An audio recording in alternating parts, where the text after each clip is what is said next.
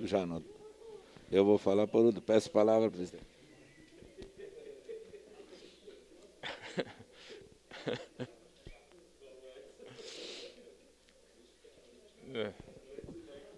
Bom dia, bom dia, bom dia, nobre presidente, senhores vereadores, senhoras vereadoras.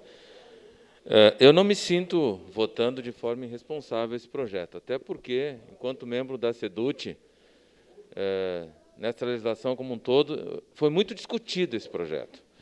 E eu queria, eu queria parabenizar o atual secretário da pasta, o secretário João Ues, porque é uma das pessoas que, que conhece e viveu essa discussão como um todo com o segmento.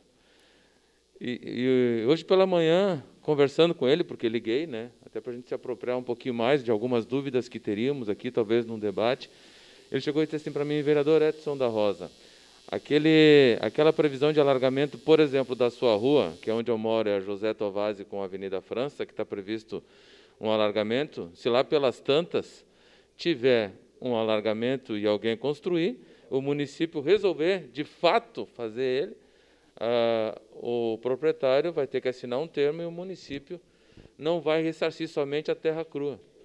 Aquilo que foi construído em cima, isso é problema de quem vai construir.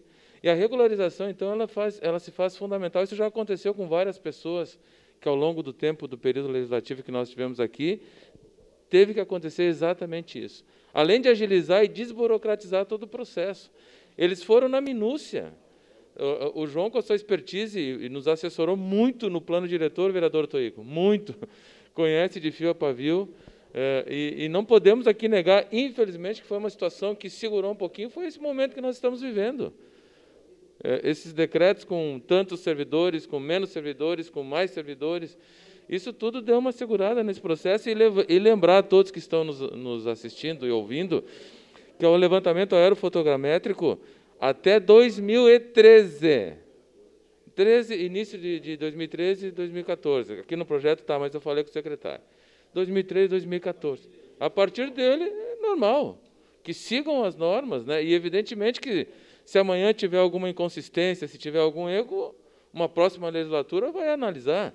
Porque os projetos, quanto mais tu coloca ele em prática, é, evidentemente que mais situações nós iremos encontrar. Então, eu fico, fico muito tranquilo, votarei favorável justamente por tudo que já foi falado aqui por os vereadores, que é, historiaram, se apropriaram, e também porque esse assunto, e, e, e quero aqui dar o testemunho, foi bastante discutido quando da aprovação, de uma forma bem popular, falando do plano diretor. Nós discutimos muito é, essa possibilidade. Então, senhor presidente, talvez por esse momento nós tenhamos que votar agora é, em regime de, de urgência, por já ter vencido o prazo, mas dizer para a sociedade, foi muito discutido, sim. Foi bastante discutido e a pessoa que está apresentando agora à frente da pasta tem essa capacidade, tem essa competência e analisou os, o, os detalhes da lei. Então, de forma.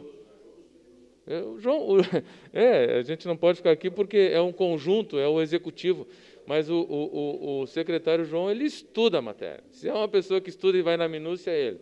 Né? Então, evidentemente que pode acontecer algumas coisas aqui que não que não sejam de alguns agrados, mas o mais importante disso tudo, também se torna uma opção nesse momento, vários vereadores já comentaram, de entrada de recurso para o município, de agilização do processo, para que as pessoas, como o vereador Gustavo Toigo falou, entrem na cidade formal. Né? Isso a gente nunca dimensiona que o tempo passa. E quando a gente deixa as coisas desregularizadas, né, vereadora Gladys, Vossa Excelência também comentou, que se cria um problema para o futuro, talvez para os filhos, talvez para os. Então, se nós conseguirmos a partir deste momento, ajudar mais de 40 mil famílias, 40 mil moradias, que o façamos. Votarei favorável na hora oportuna, senhor presidente.